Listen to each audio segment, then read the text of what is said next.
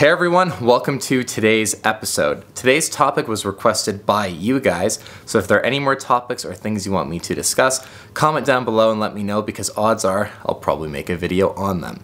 So you guys, before we get into today's video, please hit that subscribe button, ring that bell button for notifications whenever I post videos, and give this video a thumbs up if you end up liking the content and learning something. So today's topic is going to be on John Mayer's full wah pedal history throughout his whole career. So let's sit back, relax, and enjoy the video, guys. Alright, and now with every timeline, we gotta go all the way back to Room for Squares and Any Given Thursday. Now during this era, doesn't appear to be any wah pedal that John used. No songs he had at the time required the use of a wah, and it doesn't seem like something he was experimenting with live. So we gotta skip right along to heavier things, and as I've mentioned before in previous timeline videos and history videos, heavier things we don't have a lot of information on. And unfortunately, we don't really have pics of the rack that John was using or really even the Bradshaw system. But from what information we do know, it does not appear that John was using a wah pedal at this time. So this speeds us right along to the John Mayer Trio and really the most prominent use of wah that we've seen from John and that especially being Good Love is on the Way, one of my favorite John Mayer songs of all time. Now John used a real McCoy custom RMC wah. Now this is a very high-end boutique style wah pedal that John used to get that really throaty wah sound that he got for Good Love is on the Way and those trio tones. Now the real McCoy custom wah pedal did not last very long however and only stuck around for the John Mayer Trio era. And now leading into 2006 and about the time of Continuum recording, John actually experimented with the Fulltone Clyde wah with the performance he did with Just Blaze in about mid-2006. Now remember this white Fulltone Clyde wah because it does appear again once more in our timeline. At this point in our timeline, we're moving on into Continuum, and at the start of the Continuum tour, John did use that RMC wah that he used with the John Mayer Trio. I do apologize, I don't have any pictures to show you in this video, but you guys are just gonna have to trust me and take my word for it. But after a few shows during the Continuum tour, John did switch to a standard Crybaby wah pedal. And when I say standard, it's because there's no markings or nothing really to discern it from being a different Crybaby model than just the bare bones standard model. But if you listen to some performances during the Continuum tour or even on Where the Light Is, the wah sound that John gets out of that wah pedal sounds nothing like a standard Crybaby wah pedal, which really leads me to believe that it's been modded, maybe by Robert Keeley or someone else. But I would not personally recommend going out and buying a standard Crybaby wah thinking you're gonna get those wah sounds from that pedal. After the Continuum tour and era concluded at around 2008 leading into 2009 before the Battle Studies era, we see John start to mess around with the Buddy Guy signature Crybaby wah pedal.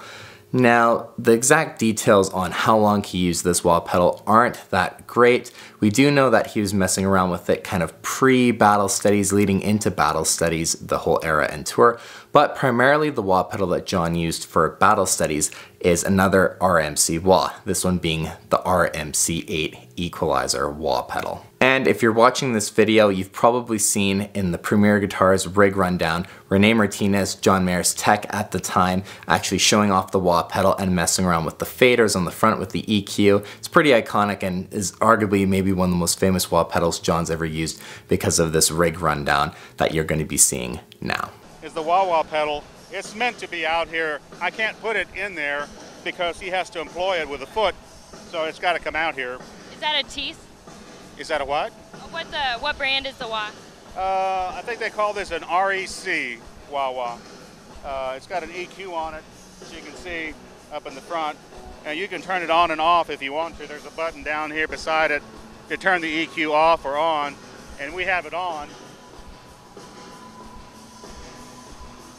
I'm just adjusting the adjustments. I have all the adjustments marked.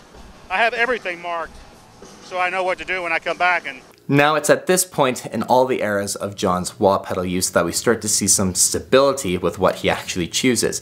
Finishing off the Battle Studies tour with the RMC 8 Equalizer wah pedal, this leads us right into Born and Raised and Paradise Valley, and John does stick with this exact same wah pedal. Maybe it's because it's highly sculptable with the faders on the front, you can really adjust and change your tone and really figure out what wah tone you want and get it out of this one wah pedal instead of swapping out different wah pedals to find your sound. This one's so flexible and sculptable, it's really versatile. And so of course, John stuck with this wah all throughout Born and Raised and Paradise Valley. And the prices for these things on Reverb used are crazy. They're going for up to, you know, eight, nine hundred, even a thousand dollars.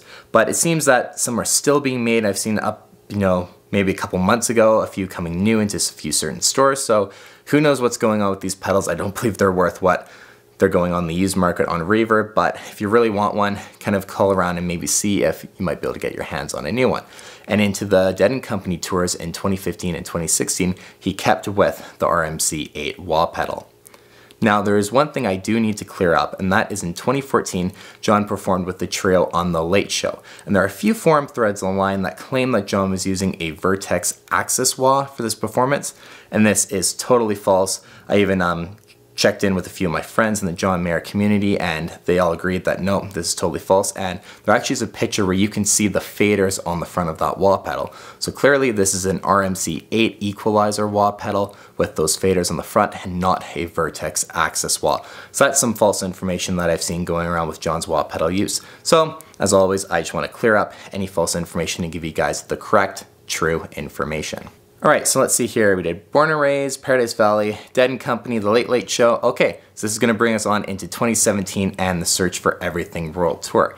And here's again where we see a change. Now, of course, Bradshaw came in, built this monster rig for John, and I like to think he had some influence on John's next wah pedal choice, and that being a custom audio electronics Dunlop wah pedal. And John stuck with this wah pedal again, for quite a while actually became his new main wah pedal for the Search for Everything World Tour and for some of the shows with Dead and Company. So you have the Search for Everything World Tour and all Dead and Company shows in 2017 and 2018 used the custom audio electronics wah pedal. Now during 2018 there was one performance that John swapped out to a different wah pedal that for at least that time period was kind of weird for him with his typical gear choices. And that was that he brought back out the RMC8 equalizer. We only got a shot of it from the back, but the color and everything, it does appear to be the RMC8.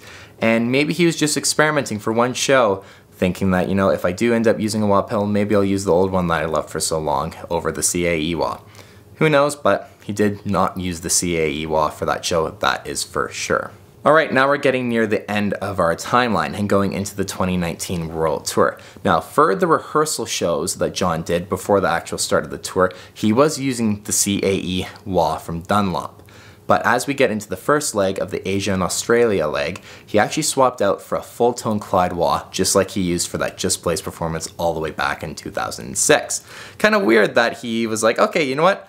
I'm gonna experiment with a new wah pedal, let's stop using the CAE one hey, I remember using the Clyde from uh, the Clyde from Fulltone. You know what? I'm gonna give that one a shot again. And the Clyde was stuck on for only about three or four shows, and by about that point in the 2019 World Tour, he got rid of it and he swapped for the Xotic wah, the XW1. Now this wah pedal is my personal favorite wah of any wah pedal I've tried. It's on my board, it's phenomenal. The tone sculpting is incredible and it's just the right size. You get the mini wah pedals that are too small and the standard ones are a little bit big. This one is just the right size. And ever since about the fifth show into the 2019 World Tour, John has stuck with the Xotic XW1. And for all Dead and Company shows since then, 2019 and 2020, we see John using that Xotic XW1 wah pedal. So safe to assume that that is John's current favorite choice for a wah pedal. Of course, now in 2021, we have, haven't actually seen him do a performance where he's needed a wah pedal. So I'm sure with more performances coming out and Sob Rock, the whole world tour that's going to come with that. We will see what wah pedal John's using, but for right now, the last one that he seemed to have loved the most is that Xotic XW1 wah pedal. And there you guys have it. That's been the full timeline on John Mayer's wah pedal use. I hope you guys learned something as I mentioned at the beginning of the video. If you did or you liked this video, please give it a thumbs up. Leave a comment down below for more topics on videos that you'd like me to do or any questions. And as always, thank you guys so much for watching. Take care till the next one.